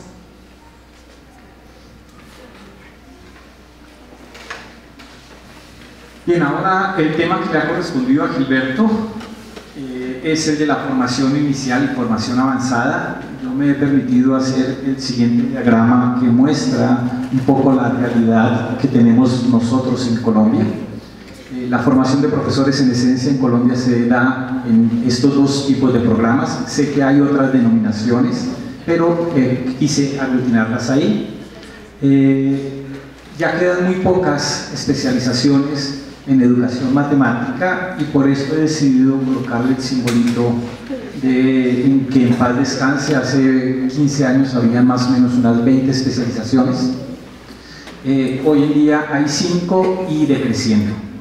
Y se puso muy en boga las maestrías eh, en educación matemática, las maestrías de investigación, las maestrías en profundización, pero hay un asunto y más recientemente los doctorados en educación matemática con diferentes denominaciones, pero hay una discusión de fondo que aún no hemos abordado suficientemente y es si el lado izquierdo, esto, todo este conjunto de programas, lo que debería permitir es la formación de competencias profesionales docentes y quizá el lado derecho debería procurar el desarrollo de competencias investigativas sin que signifique esto, como se podría interpretar de la misma imagen, que no hay algo de esto acá o viceversa, pero que el centro de unos y otros programas sea el desarrollo de unas y otras competencias.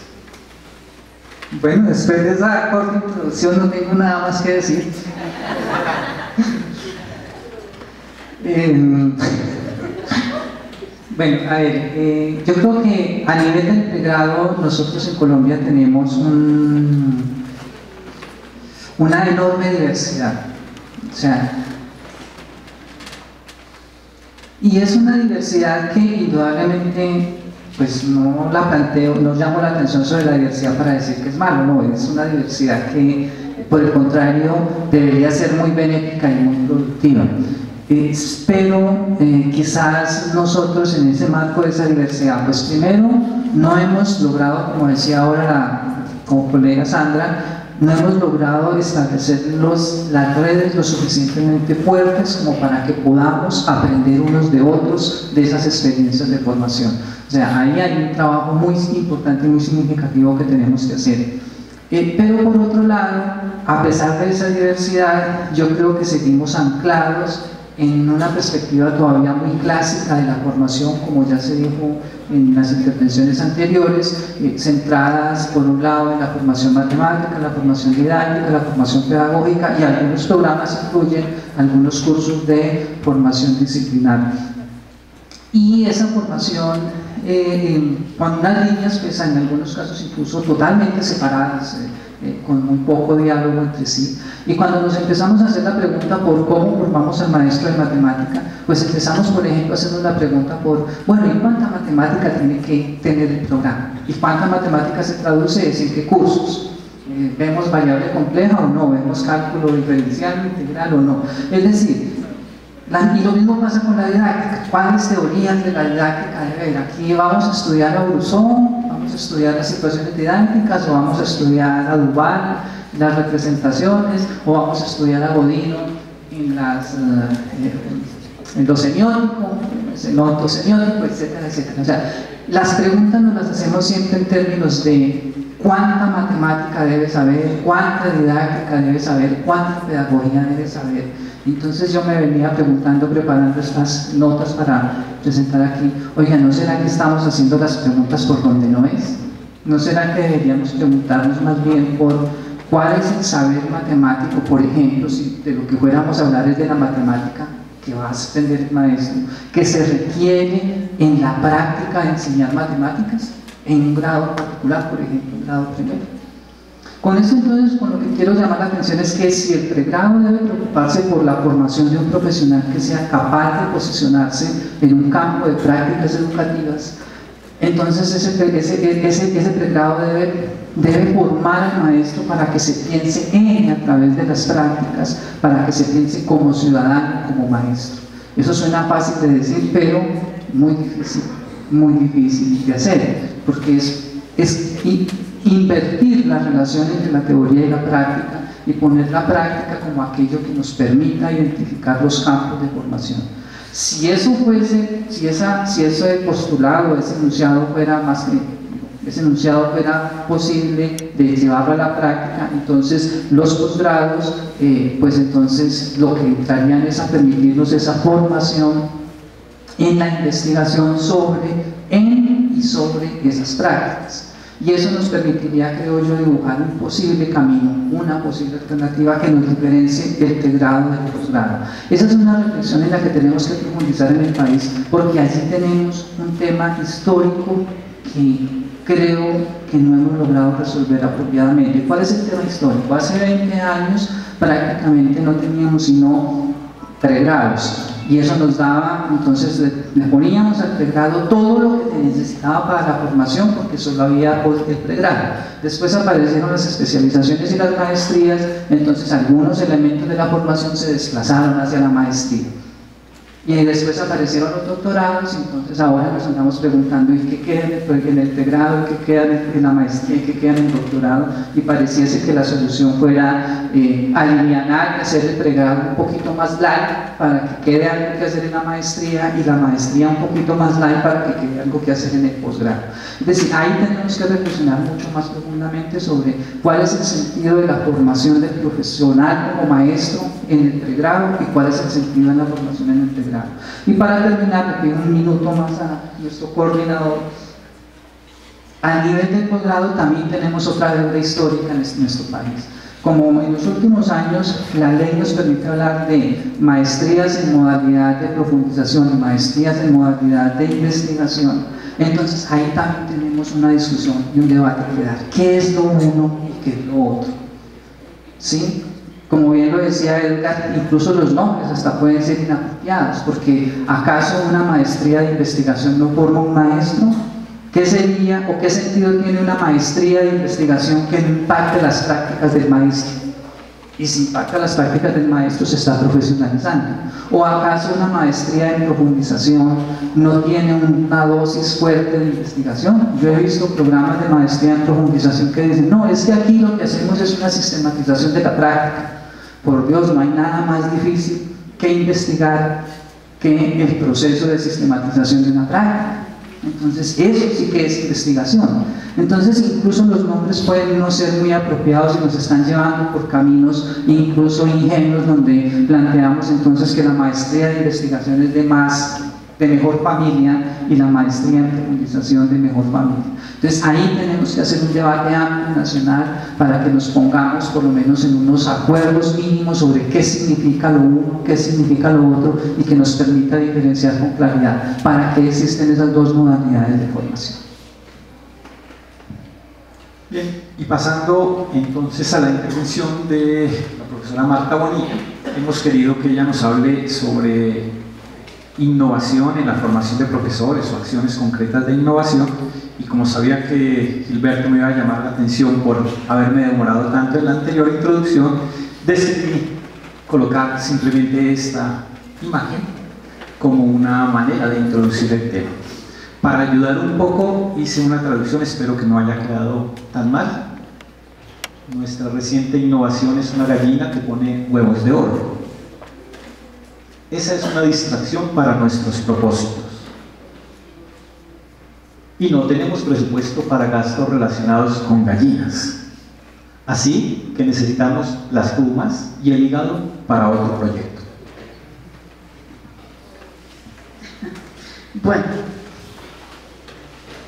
yo quería inicialmente, aunque les parezca extraño, motivar con dos resultados que mostró la señora ministra en el Foro Educativo Nacional, que creo que justifican por qué tenemos que hacer innovaciones y acciones que permitan cambiar las prácticas de formación de profesores. Una, ella dijo que los niños que las pruebas saber los resultados de los niños del tercero en el nivel insuficiente era el 20% y en el nivel avanzado el 23%. Que en quinto el nivel insuficiente subía al 37% y que en el nivel avanzado bajaba al 13%. Que en el noveno el nivel insuficiente subía al 20%, pero el mínimo llegaba al 60%. Eso significa que, pues, entre más avanzan, peor les va. ¿Sí? Entonces sí menos saben, pero peor les va. Pero cuando también mostró los resultados de las pruebas saber, dijo, los estudiantes universitarios de los programas de medicina, humanidades y ciencias naturales y ciencias exactas obtienen los puntajes más altos en lectura crítica. En razonamiento cuantitativo se observan altos puntajes entre los de ciencias naturales exactas, ingenierías y medicina. Los promedios más bajos en estas dos pruebas son los de los alumnos de educación y salud en lectura crítica y de educación y derecho en razonamiento cuantitativo.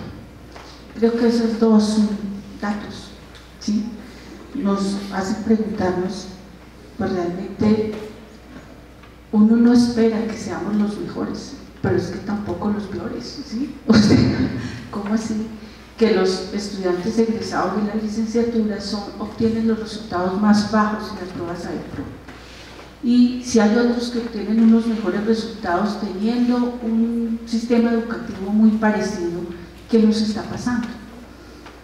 Creo que ese es un espacio que nos puede permitir hablar de innovaciones, o sea, todo lo que hemos hablado aquí sobre el conocimiento la formación del profesor, sobre la formación de los profesores, sobre los currículos, sobre los ambientes de aprendizaje. Eh, son espacios que nos permiten hacer innovaciones, aunque parece, que, que todos tres nos hubiéramos puesto como de acuerdo en ser como negativos.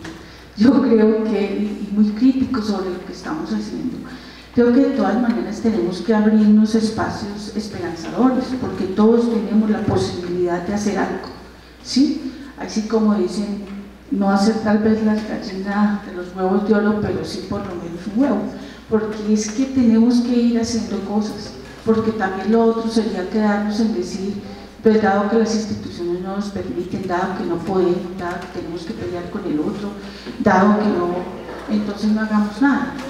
Yo creo que eh, unos espacios de innovación que pueden permitirnos hacer cosas nuevas precisamente es innovar en nuestras mismas prácticas.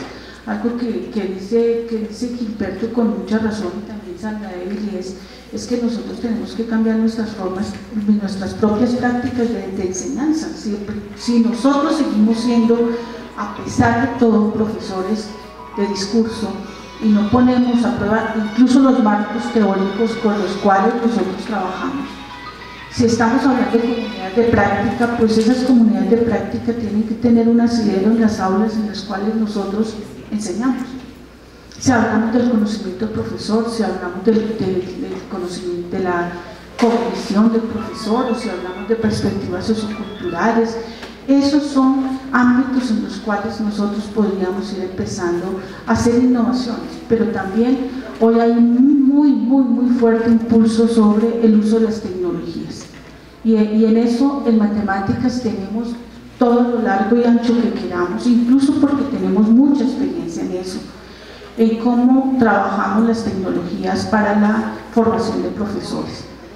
Y lo otro, pues que creo que eh, vale la pena preguntarse también es eh, por la conformación de la red, de las comunidades de práctica. Nosotros hemos, y yo aquí incluso tengo una, dos palabras que quería resumir ahí, y es, en todos los otros encuentros que hemos hecho, nosotros nos proponemos vernos, hablar, discutir, hacer la red, formamos las redes, bueno, y resulta que ni siquiera ah, que solamente nos hemos quedado en ser un grupo de amigos algunos, pero que tampoco compartimos. Entonces hay, algo que yo creo que sí que tenemos que hacer como el esfuerzo a que nosotros compartamos las cosas que hacemos. Un ámbito en el que compartimos y que yo sigo rescatando por obviamente mis, mis afectos con eso es el encuentro de educación matemática. Pero allí también hemos quedado mucho en que cada cual llega, expone sus cosas y se va. Y entonces es muy difícil que uno por uno podamos ir haciendo eh, transformaciones significativas para el país. Pero yo quiero pues dejar eh, como citado mi idea de que sí podemos hacer cosas, sí tenemos un potencial, sí podemos desarrollar procesos de formación diferenciados, innovaciones diferenciadas, y, pero además tenemos que creernos nosotros mismos que sí podemos hacerlo, porque es que muchas veces eh, y con esto termino.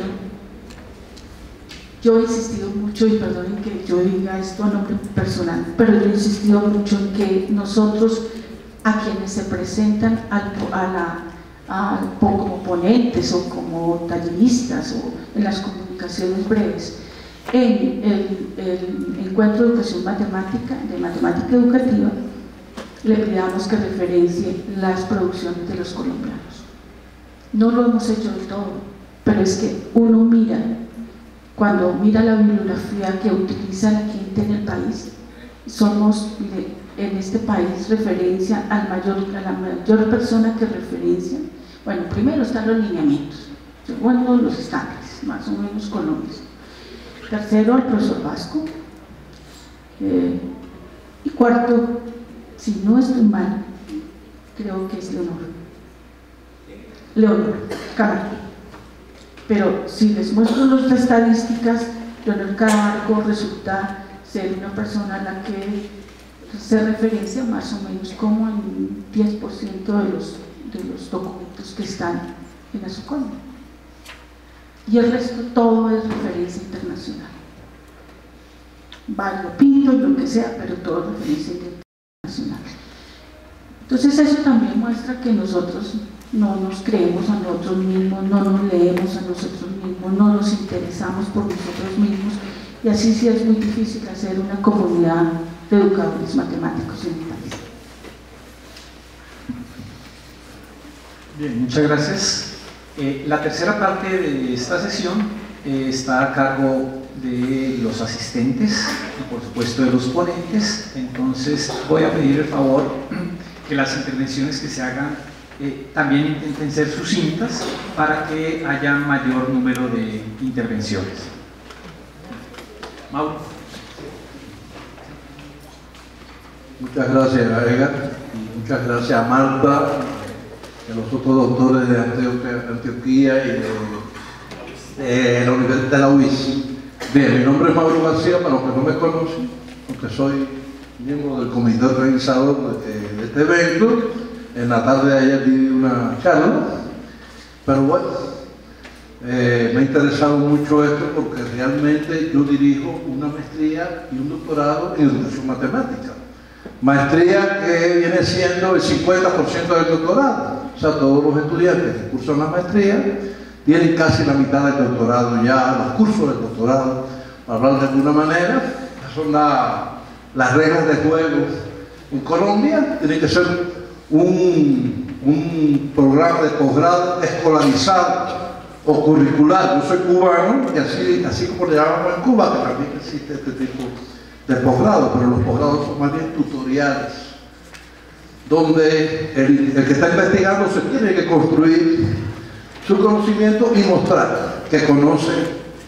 Pero bueno, acá es otra cosa y realmente creo que nos hemos adaptado bastante bien a las reglas de juego de Colombia. Yo quería plantear porque todos los puntos de vista de los tres panelistas y del coordinador creo que son válidos y muy interesantes. Sin embargo, estos programas que yo tengo el honor de dirigir, ya tenemos cerca de 40 egresados en la maestría, no tenemos ningún egresado de doctorado, los primeros saldrán el próximo año, serán alrededor de 7. Quiero decir que nosotros hemos basado nuestras preocupaciones, nuestras directivas, desde un punto de vista histórico y epistemológico. O sea, nos preguntamos, ¿por qué el estudiante de secundaria, por qué el estudiante de la universidad eh, fracasan y no les gusta la matemática? Yo diría, es muy común escuchar a un colega, y disculpen que le hable de esto porque vamos a, fundamentar el por qué eh, lo que estamos haciendo. Entonces, es muy común escuchar a un colega decir, no, yo estudié psicología porque realmente con las matemáticas no pude, o yo eh, un desastre en matemáticas.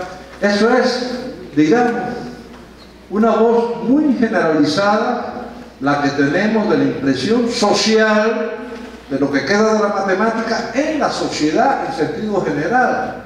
O sea, nosotros en Cuba decimos, nos tocó bailar con la más fea. Es un refrán.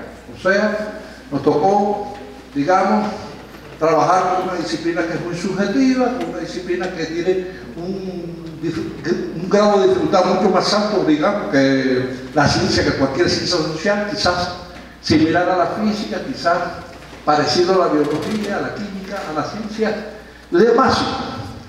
Pero bien, yo me preguntaría, si a los estudiantes no les gusta la matemática, ¿qué podríamos hacer para que les guste y revertir esta situación?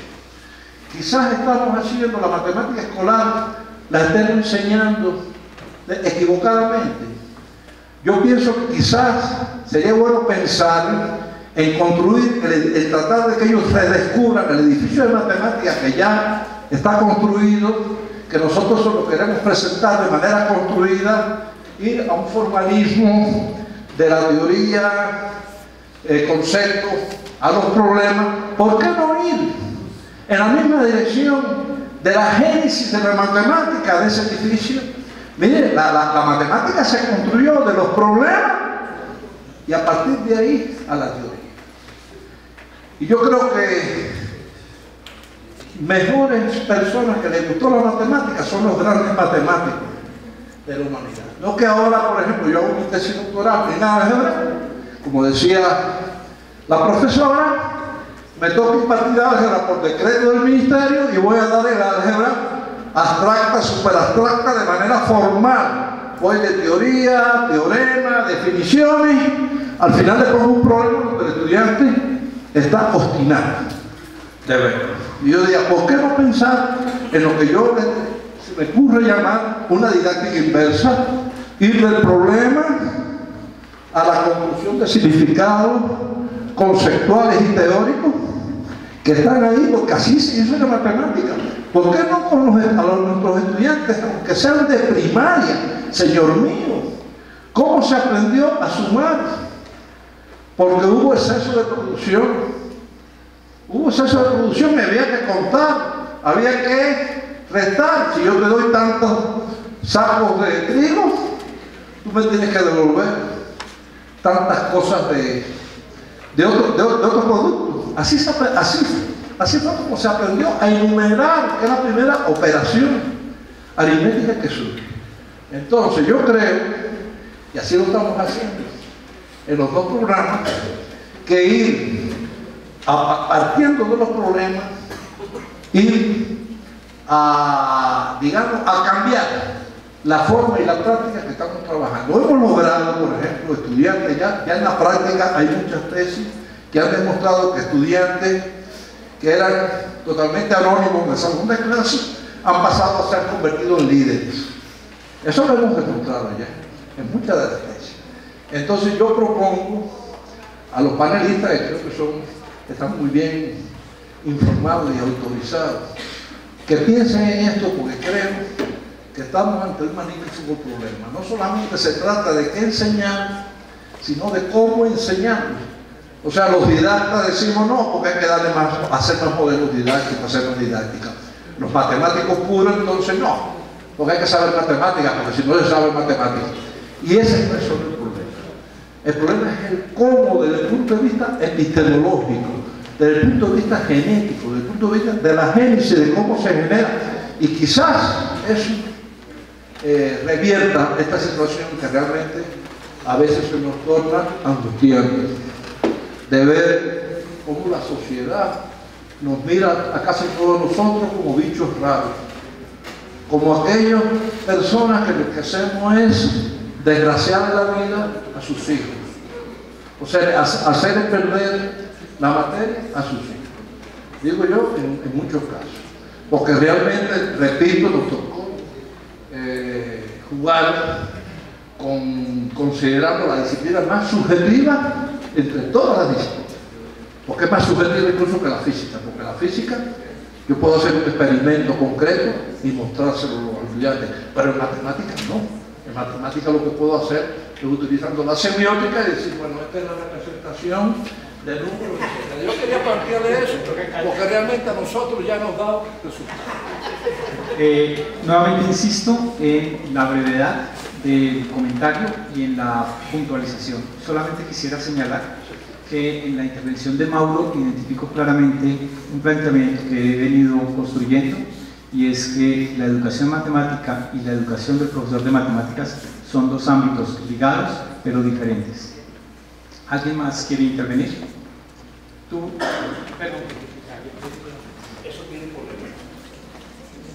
Gracias.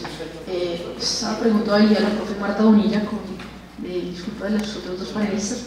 Eh, estaba leyendo la biografía de nuestros investigadores y me llamó mucho la atención, de hecho dentro de mi pregrado fue eh, muy gratificante encontrarme con esta investigación del grupo MESCUT, del profesor Jaime Romero, era un análisis de de unas clases la profesora Eugenia y, yo decía, ¿por qué a mí no me enseñan en el salón así como le están enseñando el grupo? Les están enseñando álgebra, eh, una teoría del profesor Schofer, donde hablaba de, se plantea el problema, eh, cada uno en grupos busca su solución, eh, planteábamos respuestas y bueno, al final se, la profesora institucionalizaba el conocimiento, como para ponerlos en contexto de la investigación.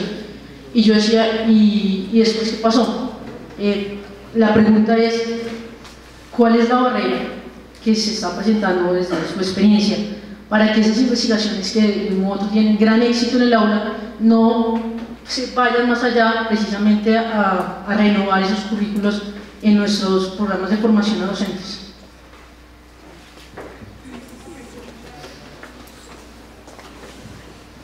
Ah, aunque yo no debería contestar esa pregunta. yo, los pongo en contexto, yo me pensioné, soy pensionada en la Universidad Distrital, pero yo obviamente trabajé allá, pero yo sé que hoy no puedo hablar en nombre de la Universidad Distrital. Entonces esto me cuesta mucho trabajo, pero sí le puedo decir qué creo yo. Eh, nosotros eh, esas experiencias de trabajo, de formación de profesores se siguen haciendo en la licenciatura pues con mayor, con menor énfasis, algunos con la misma modalidad, pero en general en la licenciatura se trabaja por resolución de problemas. Y ese trabajo de resolución de problemas no solo problemas matemáticos, es lo que también llamamos problemas de la profesión. Entonces, las didácticas, por ejemplo, también se trabajan a partir de casos de la resolución de problemas y la misma práctica es una práctica que resuelve problemas. Eh, creo yo que en la licenciatura ¿Qué es lo que, desde lo que yo pienso ahora nos ha pasado? Es que mucho de ese conocimiento también práctico que ya tienen los profesores, formadores de profesores, son, son, son conocimientos que se están quedando mucho en el profesor que hace la experiencia. Eh, eh, ellos hacen pues seminarios de formación para los nuevos profesores, etc. O sea, hay un conocimiento que ya, digamos, es como, como compartido pero cuando yo hablaba de lo otro es que ese es un conocimiento para mí local, porque es en una institución con unos profesores, pero no es un conocimiento nacional, regional, ¿sí? o sea, es una experiencia todavía local, aunque puede ser muy importante, muy interesante, muy amplia, finalmente pues son 10 semestres también de formación y con una variedad de experiencias. Eh, pero pues en el sentido de lo que estamos hablando, pues no es una, eh, no hay todavía unos resultados de investigación eh, visibilizados. A eso es actual.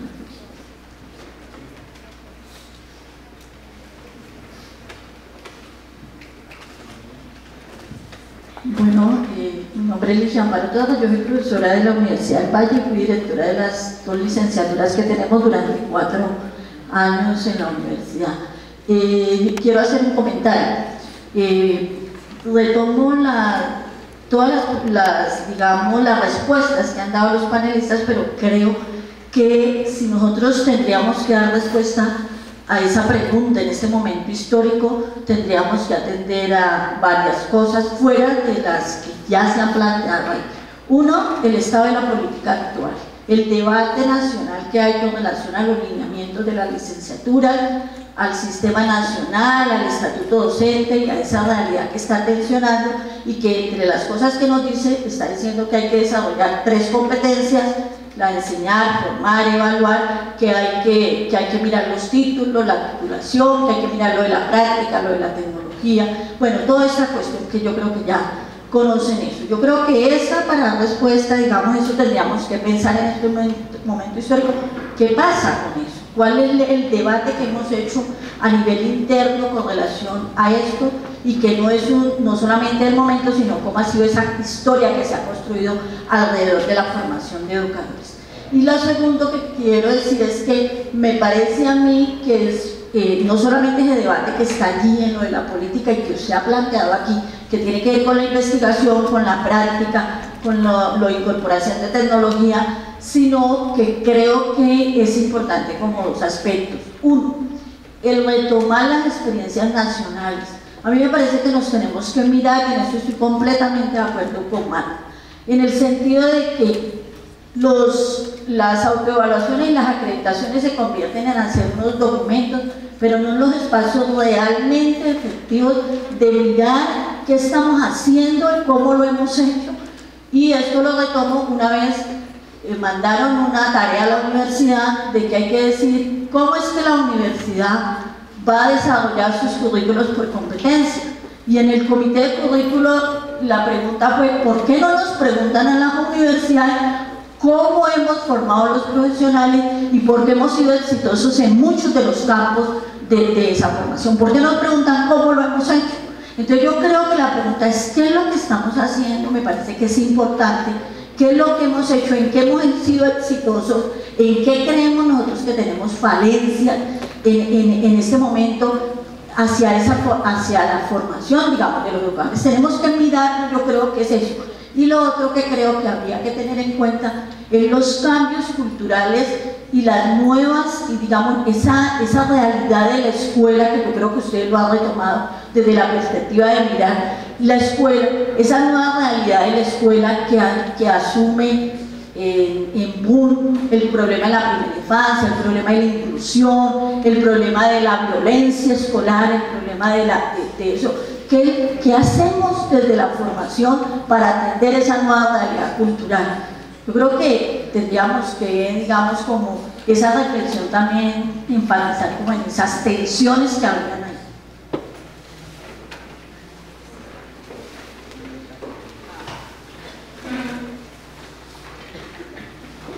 Eh, días, mi nombre es Diana Juliana Capria, soy de la Universidad del Quindío. Mañana voy a hablar sobre la red de licenciatura en matemáticas y afines pero me llamó mucho la atención algunos comentarios que hizo la profesora Marta y tengo una pregunta para hacer. Eh, usted es un, perdone por lo que voy a decir, un fiel ejemplo de que eh, le tocó desde la isla de Baldor hasta ahora, digamos, no le estoy diciendo bien, simplemente que tiene un buen recorrido y entonces usted plantea algo sobre innovar, ¿cierto? Hay que innovar en la formación de profesores de matemáticas y, yo soy una creedora de eso. Entonces, pero me pregunto, ¿cómo innovar cuando las condiciones económicas de los docentes no son las mejores?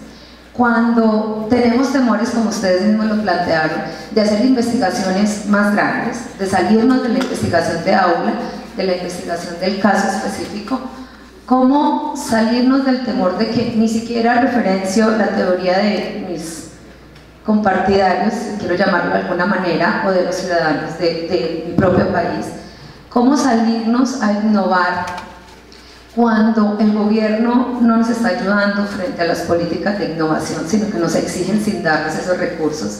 Entonces, y estoy totalmente de acuerdo en que debemos innovar para que nuestros estudiantes amen más la formación de docentes, pero ¿cómo lograrlo frente a tanto caos, si queremos llamarlo así?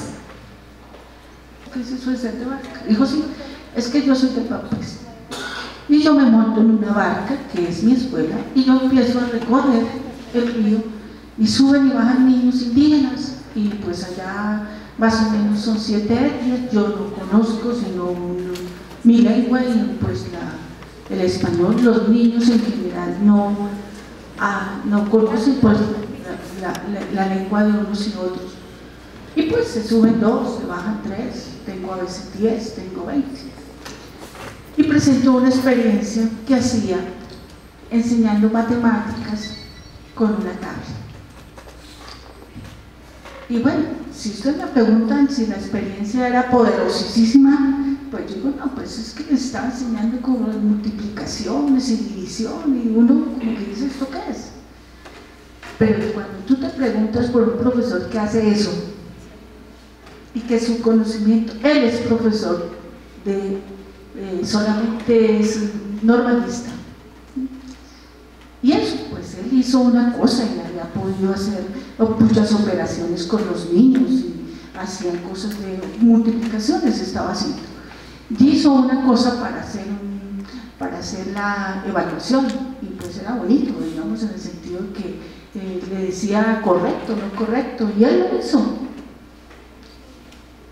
Profesora, ¿usted cree que ese profesor no está haciendo una innovación que vale la pena?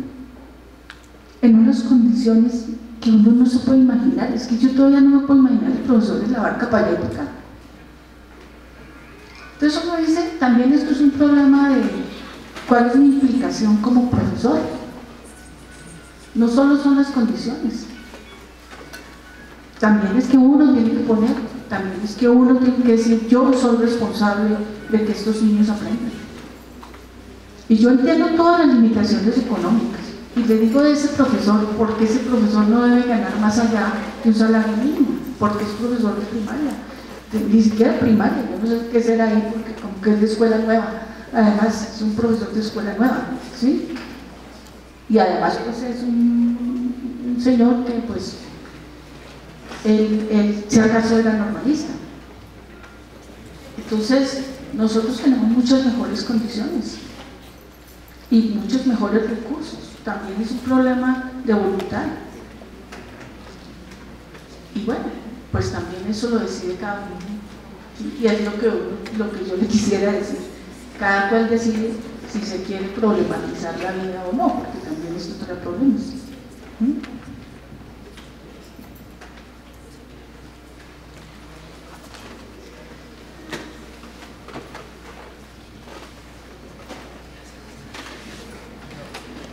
Bien, en primer lugar, para felicitar al equipo de trabajo. Soy de la Universidad Nacional Daniel Ciencias Carrión de Pasco, Perú. Quisiera dar un punto de vista sobre los comentarios que está hablando sobre la formador de formadores en los, en los posgrados de maestría y doctorado. Uno de los participantes dijo bien claro Fundamentalmente cuando hacemos los posgrados de, maestría y doctorado, fundamentalmente nos basamos en el aspecto teórico y casi poco tocamos el aspecto práctico. En las universidades, por ejemplo, el aspecto teórico lo hacemos con bastante extensión de la matemática, de la resolución de problemas, pero el inconveniente está en la práctica, estamos viendo en muchos casos. Fundamentalmente lo que yo quiero sugerir es lo siguiente, por ejemplo en el Perú el Ministerio de Educación capacita a los docentes en trabajos presenciales. ¿no? Sábados, domingos hacen trabajos presenciales en matemáticas, resolución de problemas matemáticos. Y después hace un seguimiento y monitoreo sobre esos trabajos en las escuelas primarias en los colegios. Entonces, el que monitorea va en primer lugar, el primer, el primer paso que da es observa cómo está desarrollando su sesión de aprendizaje. Hasta ahí está hermoso. Observando somos campeones, buscando las dificultades, campeones, pero a la siguiente sesión que recién, ahí el que está monitoreando, ahora sí me toca a mí, yo voy al frente. Entonces hace una clase, demostrativa. Entonces eso es importante, se matiza con la cuestión práctica. Allá en el Perú también es que los sueldos son bajos a los docentes. Pero fundamentalmente superamos estos aspectos cuando hay vocación. El profesor que quiera su carrera, el profesor que ama su carrera, no tiene ninguna de estas dificultades. Entonces es muy importante tener en cuenta cuando somos formadores de formadores tenemos que comprometernos, tenemos que ser con toda vocación, con todo el aprecio del caso. También hay veces, como en el Perú y todo el mundo, hay formadores, de, formadores son maestristas, son doctorados, al finalmente demuestran una clase, ya se olvidaron. Eso es una sugerencia, este, estimados colegas, debemos ir más al aspecto práctico. Gracias.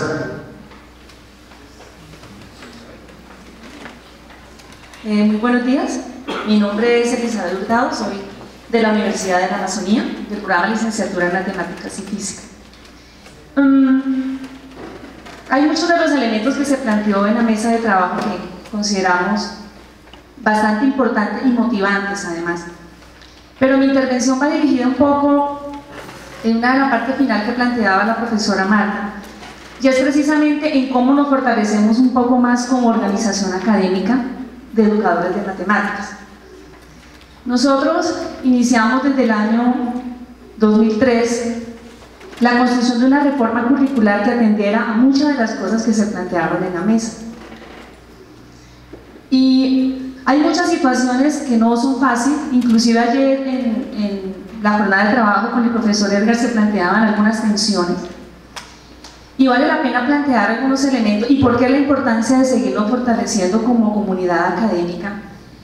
Porque hay una realidad en nuestras universidades que de una u otra forma también hacen complejo el realizar estos desarrollos curriculares con los elementos que se han planteado en la mesa de trabajo, donde haya implicación de la investigación en esos desarrollos curriculares.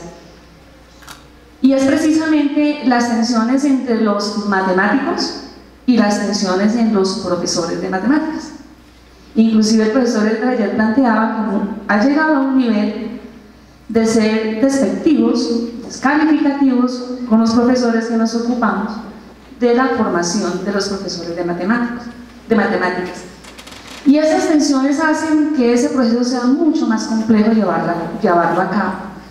En este momento tenemos un proyecto curricular que hemos tratado de, sacarlo adelante.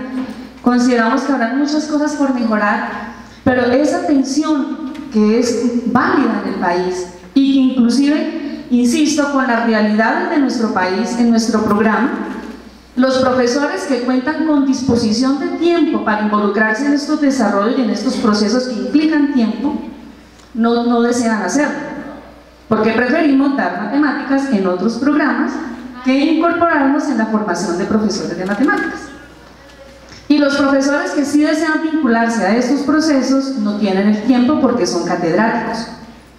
Entonces, de alguna forma son proyectos que se desarrollan con los profesores catedráticos que son los que desean vincularse, porque los profesores de planta no tienen esa disposición, insisto, porque hay un grueso, hay un número de profesores significativo que han sido nombrados que tienen formación matemática y poca formación en didáctica de las matemáticas. Inclusive, es tan fuerte esta tensión que cuando los estudiantes ingresan a la licenciatura se venden que no se están formando como se debería formar el profesor. Es decir, se, se convierten en los mismos enemigos del proceso. Y eso hace que el ejercicio sea mucho más complejo realizar. En este momento, en, nuestro programa tenemos esa realidad, y es que hay veces sacar adelante un programa de, renovación curricular, de innovación curricular, no es fácil, porque termina un grupo de 5 o 4 profesores cargando con todo el ejercicio y como que el mundo en contra. Entonces, me parece importante el ejercicio de la organización porque de alguna forma nos va a permitir unir voces, nos va a permitir fortalecernos como comunidad académica, porque créanos, que ese tipo de tensiones llega, o estamos en los séptimos semestres y encontramos estudiantes, no, es que los profes nos dicen que aquí, porque el pensar en, hablar de cosas como en la factorización, en hablar cosas como la multiplicación, en hablar cosas como la proporcionalidad, entonces para los, matemáticos en algún momento se estrilla, ¿cómo se pierde el tiempo en eso? Y entonces el discurso de los muchachos es que no nos están enseñando matemáticas. Inclusive los corrillos dicen es que desde que se inició la reforma curricular se dejó de enseñar matemáticas en la universidad. Y esas tensiones son fuertes y son reales. Entonces, las pongo en el ejercicio, en, este escenario de reflexiones precisamente para cómo lograr, ese es un encuentro de profesores de matemáticas. ¿Cuántos programas de formadores de, de matemáticas hay en el país? y uno esperaría que hubiese mayor asistencia. Normalmente venimos quienes estamos involucrados en esta dinámica. Yo anhelaría que un número interesante de profesores de mi universidad y de mi programa estuvieran acá. Pero no, no, no, no es así. Entonces terminamos un equipo muy pequeñito tratando de sacar adelante proyectos y hay veces termina también uno más bien diciendo desisto, porque no es fácil, es doloroso inclusive. La investigación, tiene otras discusiones con el tema de la investigación y también en la mesa se trató.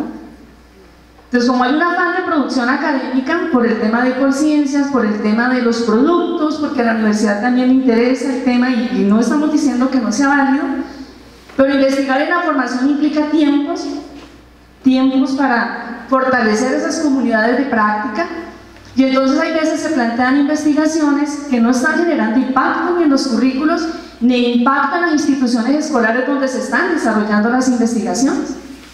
Y entonces vienen esas otras discusiones con los colegas cuando planteamos que la investigación tiene que girar en torno a los impactos en la formación de los profesores, en la formación de los, de los niños y las niñas en las escuelas. Entonces son una serie de elementos que sí queremos plantear porque como licenciatura en matemáticas y física hemos venido recorriendo un camino, ayer compartíamos nuestra experiencia, que no ha sido tampoco un ejercicio fácil, hemos venido poco a poco logrando, pero en momentos para nosotros es muy importante el contar con un colectivo donde nos podamos apoyar también.